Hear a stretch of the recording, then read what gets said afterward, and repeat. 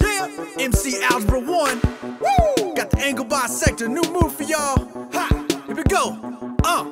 Every day in class, people asking me how to bisect an angle like I'm Albert E. But I tell them it ain't hard if you got the tools. That's a compass in your hand and to know the rules. I do that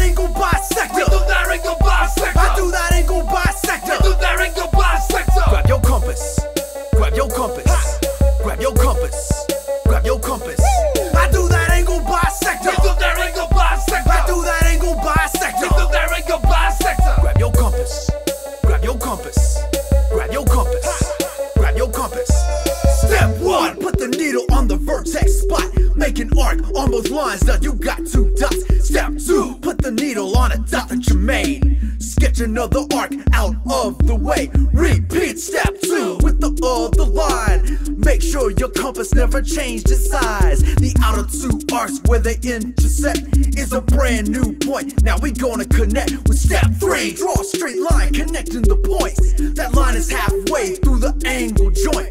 It's called a bisector. Now you understand that the angle